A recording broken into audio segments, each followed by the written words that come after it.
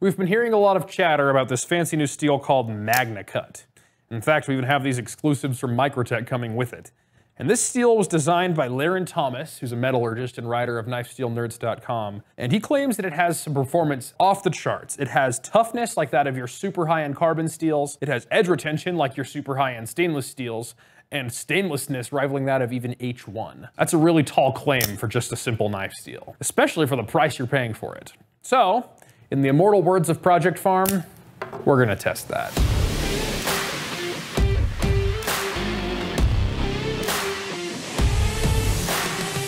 Well, as you can see, we're here at the Great Salt Lake.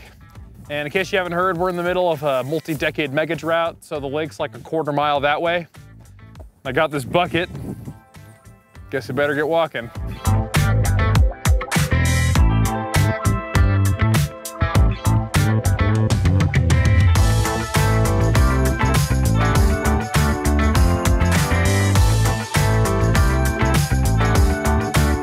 I never thought I'd make this sound, but we got a lot of record snowfall this year, so if I made your attention to the mountains in the very far distance, that should all be in the lake here pretty soon. Well, found some water. Let's fill this bucket up.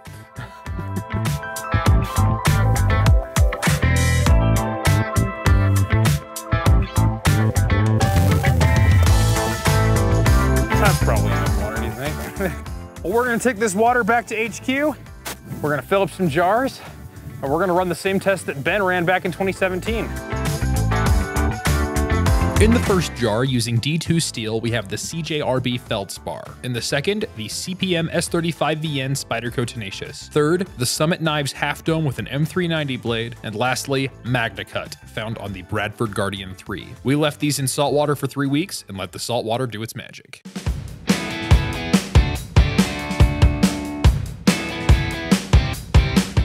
So we're in the middle of the time lapse here, and as you can see, Theo's over here knocking this film off. We actually messaged Ben Peterson, my good friend, who ran this test before, and we asked, what did you do about the film that's growing on top of the salt here? He says, oh, we had to go knock it off, or it would have taken months. So we're in here knocking film. It's almost like um, uh, like the skin of an onion. Anyway, we'll get this time lapse rolling again, and hopefully we'll see this thing finish out nicely.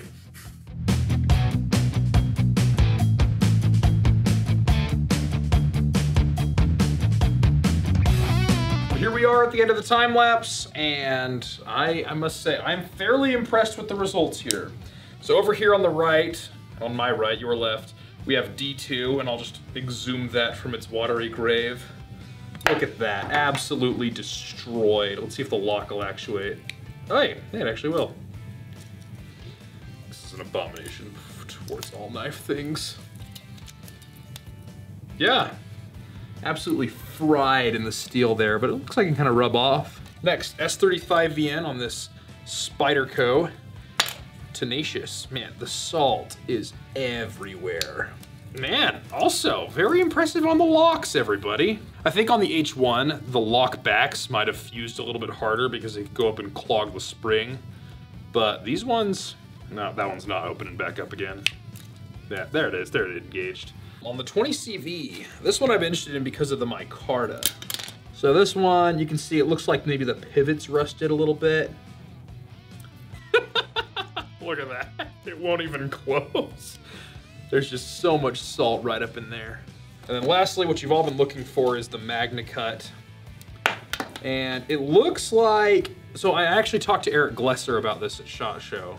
He was saying that the reason they polished the spines so much on the Salt series and on the natives is because of this. If you have a little bit of a rougher spine, like they like here for striking ferro rods and whatnot, it can allow rust to build up, but it just rubs right off. Nothing on the edge, that stuff rubs off as well. It might take a little more elbow grease. But I can't imagine it would show up on the handle, but not on the blade if it was not this piece of metal right here. So we'll have to take that apart and see what's going on. We got all these salty boys all rinsed off. And now we're gonna talk a little about what damage we saw. First of all, that CJRB action came back really well. They always had a good detent and a good pivot and everything, but like, I'm surprised after just rinsing it out, it is back in business. But that D2 steel, it, it's not a stainless steel. There's nothing you can say about that. It like, let's see if I can catch that in the light. Like you can see it's got staining, it's got rust that I wasn't able to rinse off. So Larrin said bring a, a, a non-stainless steel along like this one, just to see how it is. The moral of the story, if you're if you're playing in the water, keep your D2 out of it. Next up is this one, the Spyderco. And what I noticed about this one is its action did not come back at all. Like it is crusty and crispy now. And look, like it used to be a satin, but now it's almost this like matte bead blasty finish. So if you if you don't have a bead blaster, but you want to finish like this, just soak your knife in very salty water for a couple weeks and you'll be there. But the, the lightweight handle, that FRN, rinsed out really nice, still as vibrant as it was on the first day. Next up, we have the M390 on the Summit Half Dome. And I thought this steel performed a little bit less than I was expecting, perhaps I could say, because I know it's a very stainless steel and it's very popular on folders because it offers excellent edge retention. But you can see it just stained just a teeny little bit.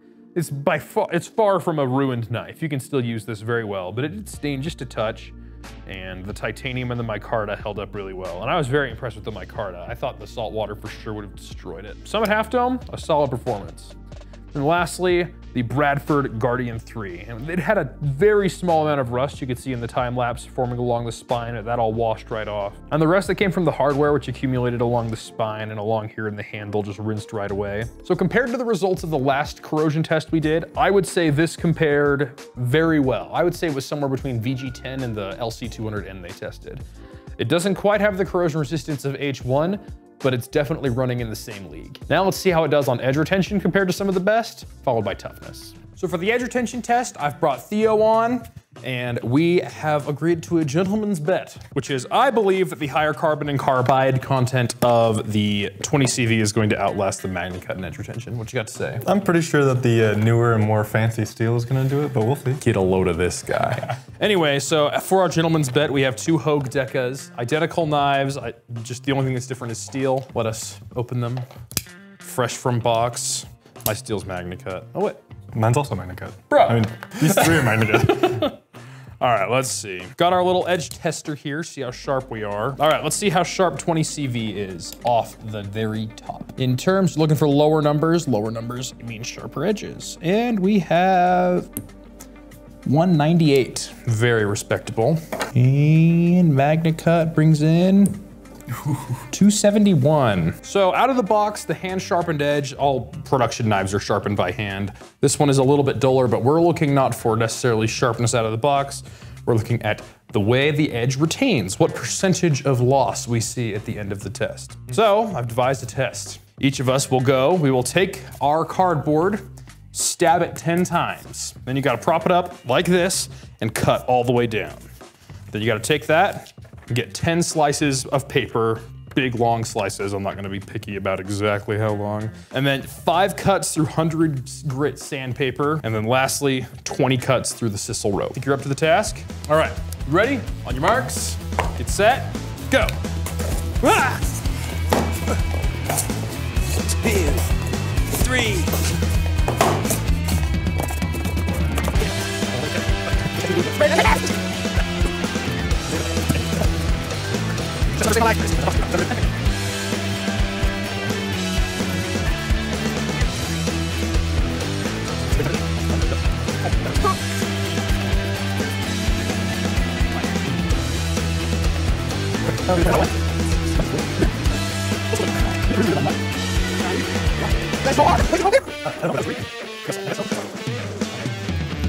See how the steels hold up.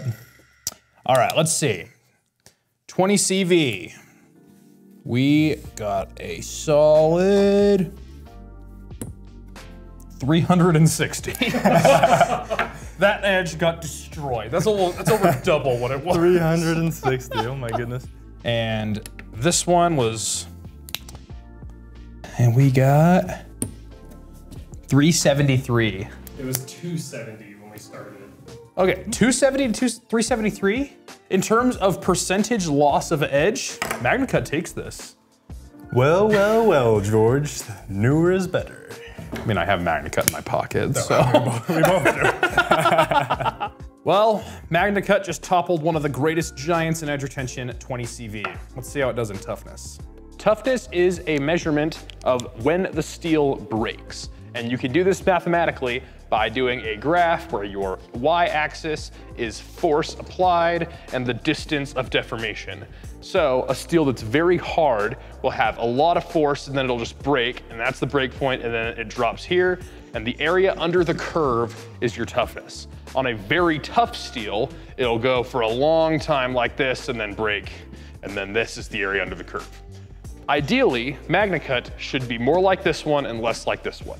But let's test it out. If we're gonna test it out, we gotta break something. So, we got ourselves this epic scientific test jig. We got a piece of 1095 in the vise. Let's see if this anvil can break it.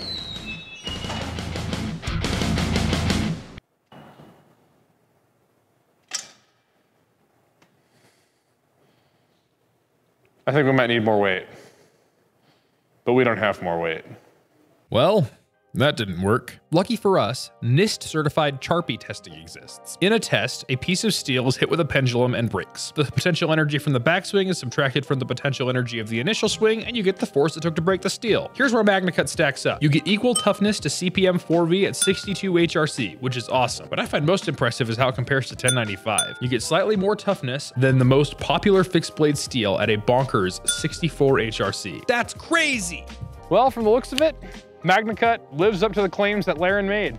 It's a really a miracle steel. Great corrosion resistance, off the charts edge retention, and toughness like those carbon steels.